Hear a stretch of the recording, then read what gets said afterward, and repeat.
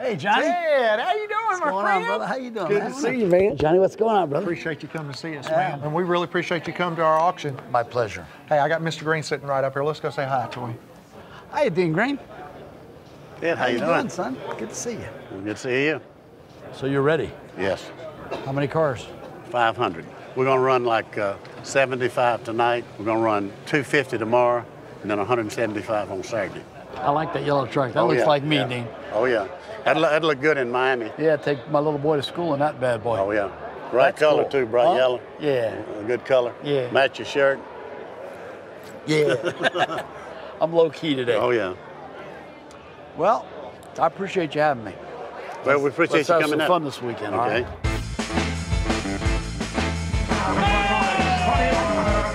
What sets Greensboro Auto Auction or GA Classic Cars apart is we're a family-owned business. We got a lot of people that's been dedicated.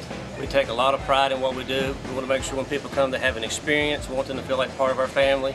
We want them to leave feeling like part of our family. So we do a lot to make that experience and enjoyable for them. Now we just got done building a new uh, classic car diner for uh, this event. We did the sound recording of the cars. You can actually hear them in the background starting them up. That's what you hear when the car comes up to the block.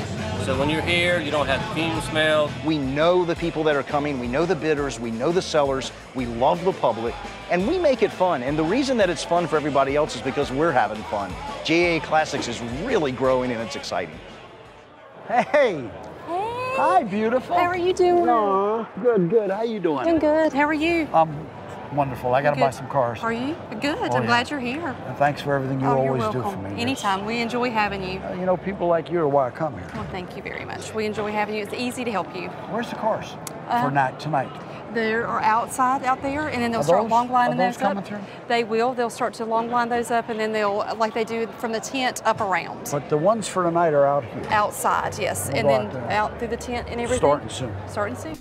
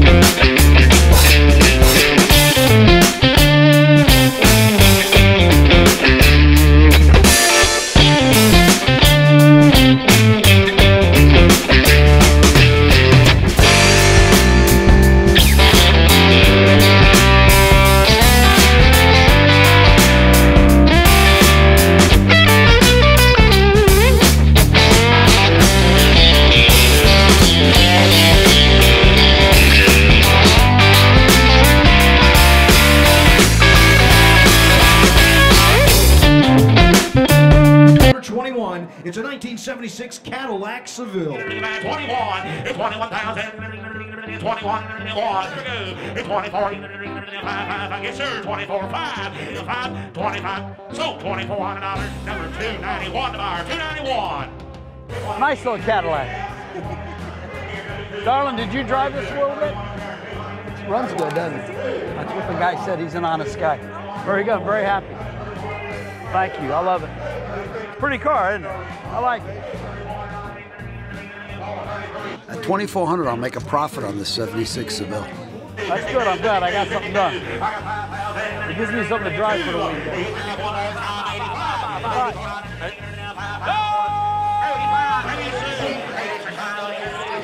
Me, I'm buying this. So $87 right there, number 291. This 64 Chevelle will sell in Miami. Thank you.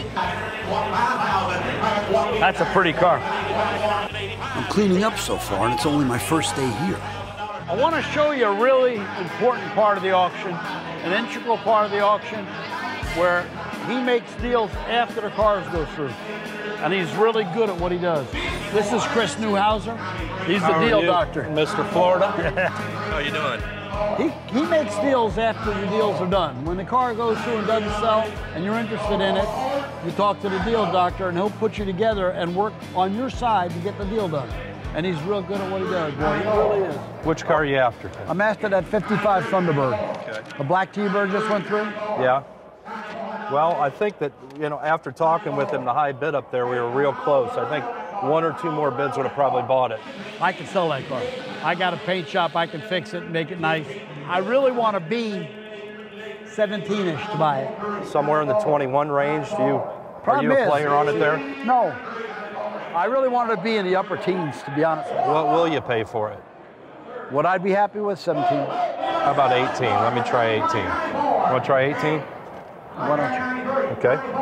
So if there's roughly five, four, 500 cars, we'll usually translate into 40 or 50, 60 cars at this desk that didn't sell at the block. This is an opportunity or a second chance for the bidder to come over and buy a customer's car that didn't sell up there. I'm going to go back to the deal doctor and we'll see how he made out. Maybe I bought myself a T-Bird. So how did you do? Well, I think that if we came up a little bit, we could get the deal done. But right now, we're stuck at 21. I appreciate the offer. I appreciate it. Pick out another one. Oh, well, you're going to see me all weekend. Thank you. Ted tried to negotiate that Thunderbird down, the black car, and we're just a couple thousand dollars apart. He's not willing to come up, the seller's not willing to come down, so sometimes there's just not that happy medium, but we got real, real close.